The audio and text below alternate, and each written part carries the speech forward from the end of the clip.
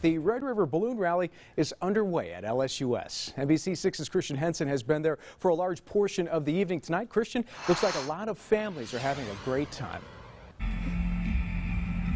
That's right, Dan. There were hundreds, I'm going to guess even a thousand people at least out here earlier for the balloon glow. Then there were also fireworks, and there's still a lot of people out here right now enjoying Crowder up on the main stage. And the sun set today, and the balloons started to glow. They lit up with everyone's favorite cartoon characters. There's even a Darth Vader balloon out there. Then, of course, the fireworks show followed, lighting up the sky. And uh, there's still a lot going out here right now. There's a ton of food options that everybody can get their snack. And at the balloon rally, there's also a special kids zone. Kids can run around and play while parents look at some of the craft booths, maybe. And there is plenty to do tomorrow as well.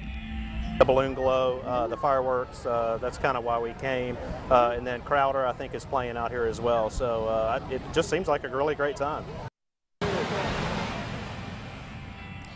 There were tethered balloon rides until about uh, 9.30 tonight, and there'll be plenty more of those tomorrow. And if you're looking to get up bright and early, maybe beat the heat tomorrow morning at 6.30, you can come out and see the actual balloon competition. And then there's going to be acts on the main stage, all of those tethered balloon events, a lot of different stuff going on tomorrow for another full day at the Red River Balloon Rally. And you can check out all the details on our website, arklatex.homepage.com. Back to you. Now, that balloon glow is something to behold. Christian, thank you so much. Well, why